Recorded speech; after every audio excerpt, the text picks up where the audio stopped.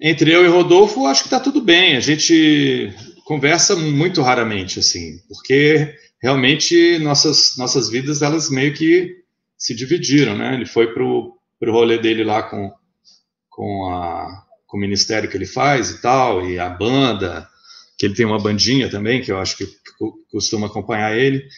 E a gente veio, né? Foi correr atrás do nosso aqui desse lado. Mas a gente nunca teve nenhum conflito assim.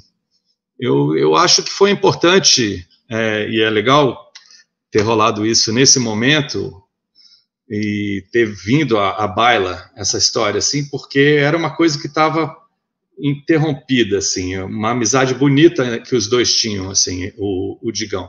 O Digão ele nunca aceitou muito bem essa essa ruptura, né?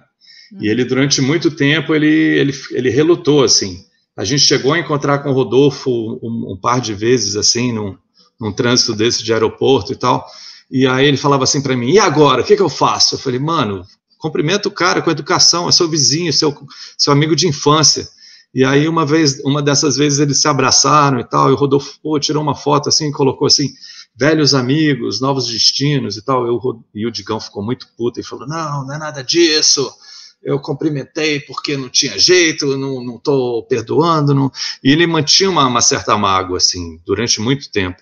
E eu achei bacana, muito bacana da parte dele. Ele, ele, porque essa pandemia né, faz a gente pensar na vida da gente, faz a gente né, tentar reformular como é que a gente vai sair dela. Porque a gente, se a gente sair dela pior do que a gente entrou, então não, não vai ter ferrou, né? Então, a gente espera que a gente saia melhor desse, desse problema que está rolando. E ele foi, foi muito bacana ele ter, né, tipo, partido dele, a, a iniciativa dele ir procurar o Rodolfo e tal. O Rodolfo, ele sempre teve de braços abertos, cara, para receber.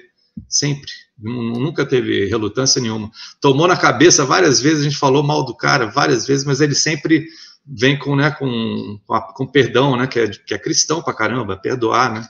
Então, tipo, eu achei bacana pra caramba. Eu achei um, uma evolução pessoal muito grande do Rodrigo, assim, nesse ponto.